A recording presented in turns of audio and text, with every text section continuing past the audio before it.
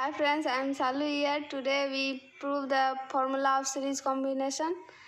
तो उसका फॉर्मूला क्या होता है? R equivalent equal to R one plus R two plus R three तो यहाँ पर सीरीज़ कॉम्बिनेशन का डायग्राम बना लिए हैं। तो इसमें हम जानते हैं सीरीज़ कॉम्बिनेशन में सब मतलब वोल्टेज अलग होता है लेकिन करंट सेम होता है। तो यहाँ पर ये हम रेसिस्टेंस का नाम ले सकते हैं।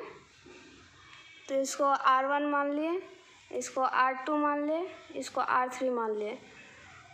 और इसका voltage V one V two और वी थ्री और करंट तो सेम होता है तो पूरे सीरीज़ में करंट सेम ही होगा।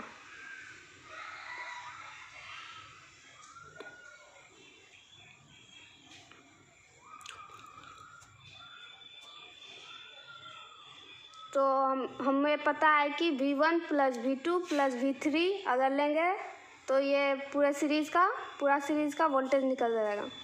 तो लिखते हैं यहाँ पर v equals to V one plus V two plus V three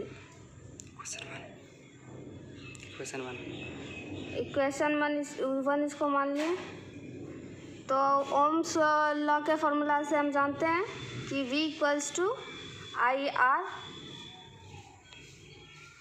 I R होता है।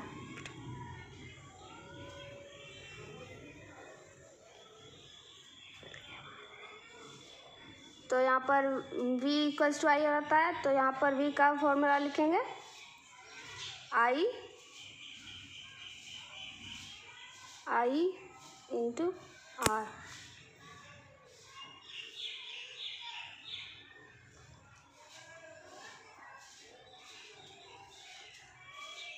और यहाँ पर वी वन का क्या हो जाएगा? लिखो। वी वन का क्या हो जाएगा? आर तो करंट तो सेम ही है तो आई का आई हो जाएगा। और यहाँ पर आर बीच में क्या है? आर वन तो ये हो गया आर वन प्लस यहाँ पर क्या है?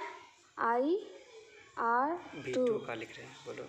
और ये वी टू ये वी वन और वी थ्री का क्या हो जाएगा? आई आर थ्री तो यहाँ पर आई आर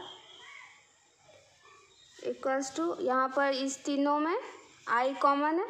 मतलब आई हम यहाँ पर ले सकते हैं कॉमन तो यहाँ पर हो गया I R one plus I मतलब R one plus R two plus R three. तो यहाँ पर ये आई आई कैंसिल हो जाएगा।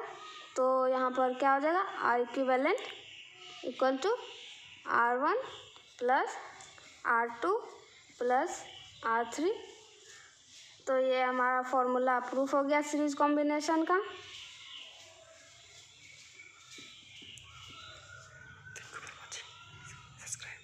Thank you for watching and and subscribe please my channel